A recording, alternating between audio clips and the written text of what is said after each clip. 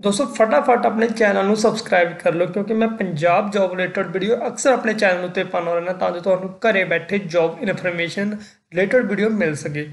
ਅੱਜ ਦੀ ਵੀਡੀਓ ਵਿੱਚ ਆਪਾਂ ਗੱਲ ਕਰਾਂਗੇ ਸ਼੍ਰੋਮਣੀ ਗੁਰਦੁਆਰਾ ਪ੍ਰਬੰਧਕ ਕਮੇਟੀ ਸ੍ਰੀ ਅੰਮ੍ਰਿਤਸਰ ਸਾਹਿਬ ਵੱਲੋਂ ਆਈ ਜੌਬ ਰਿਕਰੂਟਮੈਂਟ ਦੀ। ਦੋਸਤੋ, ਪੂਰੀ ਇਨਫੋਰਮੇਸ਼ਨ ਮੇਨ ਮੇਨ ਇਨਫੋਰਮੇਸ਼ਨ ਤੁਹਾਨੂੰ ਮੈਂ ਇਸ ਵੀਡੀਓ ਥਰੂ ਦੇ ਦਿਆਂਗਾ। ਜੇ ਤੁਸੀਂ ਇਸ ਨੋਟੀਫਿਕੇਸ਼ਨ ਦਾ ਪੀਡੀਐਫ ਲਿੰਕ ਡਾਊਨਲੋਡ ਕਰਨਾ ਚਾਹੁੰਦੇ ਹੋ ਤਾਂ ਵੀਡੀਓ ਦੇ ਡਿਸਕ੍ਰਿਪਸ਼ਨ ਵਿੱਚ ਤੁਹਾਨੂੰ ਇਸ ਦਾ ਲਿੰਕ ਮਿਲ ਜਾਊ। ਉੱਥੇ ਜਾ ਕੇ ਕਲਿੱਕ ਕਰਕੇ ਇਸ ਨੂੰ ਚੰਗੀ ਤਰ੍ਹਾਂ ਰੀਡ ਕਰਕੇ ਫਿਰ ਇਸ ਫਾਰਮ ਨੂੰ ਅਪਲਾਈ ਕਰਨ ਦੀ ਕੋਸ਼ਿਸ਼ ਕਰਿਓ।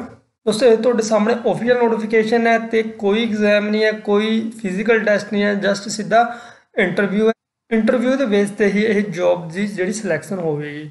ਤੇ ਮੇਨ ਮੇਨ ਗੱਲ ਤੁਹਾਨੂੰ ਦੱਸ ਦਿੰਦਾ ਦੋਸਤੋ, ਇੱਥੇ ਆਪਾਂ ਚੈੱਕ ਕਰ ਸਕਦੇ ਹਾਂ। ਗ੍ਰੰਥੀ, ਸਹਾਇਕ ਗ੍ਰੰਥੀ ਅਤੇ ਰਾਗੀ ਜੱਥਿਆਂ ਦੀ ਜ਼ਰੂਰਤ ਹੈ। ਤੇ ਦੋਸਤੋ, ਲਗਭਗ ਪੰਜਾਬ ਦੇ ਹਰ ਜ਼ਿਲ੍ਹੇ ਦੇ ਜਿਹੜੇ ਕੈਂਡੀਡੇਟ ਇਸ ਨੂੰ ਅਪਲਾਈ ਕਰ ਸਕਦੇ ਨੇ। ਇੱਥੇ ਆਪਾਂ ਚੈੱਕ ਕਰ ਸਕਦੇ ਹਾਂ। ਜਿਹੜੇ ਵੀ ਜ਼ਿਲ੍ਹਿਆਂ ਵਿੱਚ ਇਹ ਰਿਕਰੂਟਮੈਂਟ ਜਾਰੀ ਕੀਤੀ ਗਈ ਹੈ, ਉਹਨਾਂ ਦੇ ਨਾਮ ਲਿਖੇ ਹੋਏ ਨੇ ਤੇ ਇਹ ਜਿਹੜੀ ਇਹਨਾਂ ਦੀ ਇੰਟਰਵਿਊ ਦੀ ਡੇਟ ਹੈ 27 10 2020 ਤੇ ਇਸ ਤੋਂ ਇਲਾਵਾ ਹੋਰ ਥੋੜੇ ਜਿਹੇ ਜ਼ਿਲ੍ਹੇ ਇੱਧਰ ਲਿਖੇ ਹੋਏ ਨੇ ਤੇ ਇਹਨਾਂ ਦੀ ਜਿਹੜੀ ਇੰਟਰਵਿਊ ਦੀ ਡੇਟ ਹੈ 29 10 2020 10 ਵਜੇ। ਤੇ ਨੀਚੇ ਇਹਨਾਂ ਨੇ ਐਡਰੈਸ ਦਿੱਤਾ ਹੋਇਆ।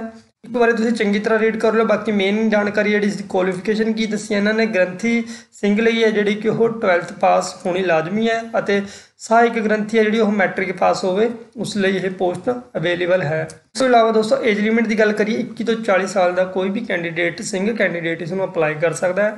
ਰਾਗੀ ਅਤੇ ਜੋੜੀਵਾਲ ਜੱਥਿਆਂ ਲਈ ਦੋਸਤੋ, ਇਹਨਾਂ ਨੇ 12th ਪਾਸ ਦੀ ਡਿਮਾਂਡ ਕੀਤੀ ਹੋਈ ਹੈ। ਜੇ ਤੁਸੀਂ ਇਹ ਜੌਬ ਅਪਲਾਈ ਕਰਨਾ ਚਾਹੁੰਦੇ ਹੋ ਤਾਂ ਦੋਸਤੋ, ਸਿੱਧਾ ਤੁਸੀਂ ਇਹਨਾਂ ਦੇ ਦਿੱਤੇ ਹੋਏ ਪਤੇ ਉੱਪਰ ਜਾਣਾ ਹੈ। ਜੇ ਤੁਸੀਂ ਜ- ਕਪੂਰਥਲਾ, ਜਲੰਧਰ, ਹੁਸ਼ਿਆਰਪੁਰ, ਭਗਤ ਸਿੰਘ, ਰੋਪੜ, ਮਤਲਬ ਕਿ ਇਸ ਸਾਈਡ ਦੇ ਜ਼ਿਲ੍ਹਿਆਂ ਵਿੱਚੋਂ ਤਾਂ ਤੁਸੀਂ ਜਾਣਾ ਪਵੇਗਾ ਸ੍ਰੀ ਤਖਤ ਕੇਸਗੜ੍ਹ ਸਾਹਿਬ, ਸ੍ਰੀ ਅਨੰਦਪੁਰ ਸਾਹਿਬ, ਰੋਪੜ ਜਾਣਾ ਪਵੇਗਾ 27 ਤਰੀਕ ਨੂੰ 10 ਵਜੇ ਤੋਂ ਪਹਿਲਾਂ।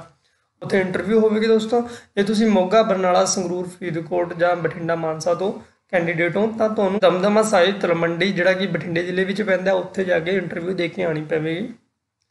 ਐਂਡ ਦੋਸਤੋ, ਇਸ ਰਿਲੇਟਡ ਕੋਈ ਵੀ ਸਵਾਲ ਮਨ ਵਿੱਚ ਹੈ ਜਾਂ ਕੋਈ ਵੀ ਜਾਣਕਾਰੀ ਚਾਹੀਦੀ ਹੈ ਤਾਂ ਵੀਡੀਓ ਵਿੱਚ ਕਮੈਂਟ ਕਰ ਦਿਓ। ਮੈਂ ਤੁਹਾਡੀ ਹੈਲਪ ਕਰਨ ਦੀ ਜ਼ਰੂਰ ਕੋਸ਼ਿਸ਼ ਕਰਾਂਗਾ।